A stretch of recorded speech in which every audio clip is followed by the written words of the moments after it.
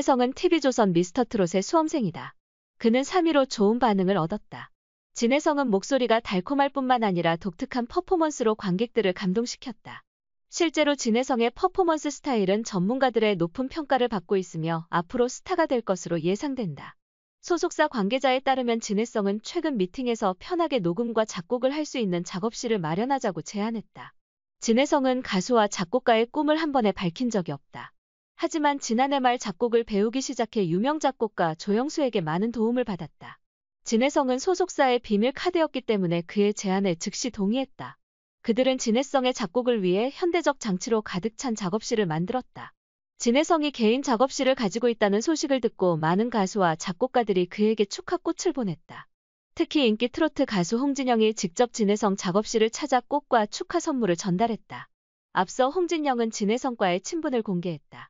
회사원이 진혜성의 작업실에 대한 충격적인 이야기를 공개했다. 홍진영이 왔을 때 진혜성이 신곡 작업을 막 끝냈기 때문에 그 노래를 들어보자고 제안했어요. 홍진영은 진혜성의 신곡에 관심이 많다. 그럼에도 진혜성은 자신이 작곡한 신곡에 대해 홍진영의 관심을 받고 큰 영광과 감동을 느꼈다.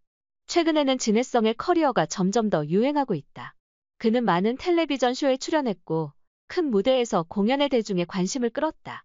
진혜성의 감미로운 목소리와 독특한 퍼포먼스가 어우러져 가요계의 특별한 하이라이트를 선사한다. 전문가들과 음악업계 사람들은 진혜성의 잠재력을 높이 평가한다.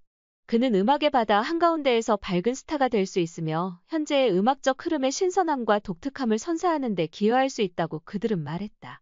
진혜성도 작곡을 배우려는 각오와 노력을 보였다. 그는 음악계의 거물이자 명망 있는 인물인 작곡가 조영수의 도움을 구했다. 이러한 지원은 진혜성이 자신의 창작 기술을 습득하고 창의력을 발전시키는 데 도움이 되었다. 작업실을 가지고 있어 음악 경력에 집중할 수 있는 좋은 공간을 갖게 될 것이다.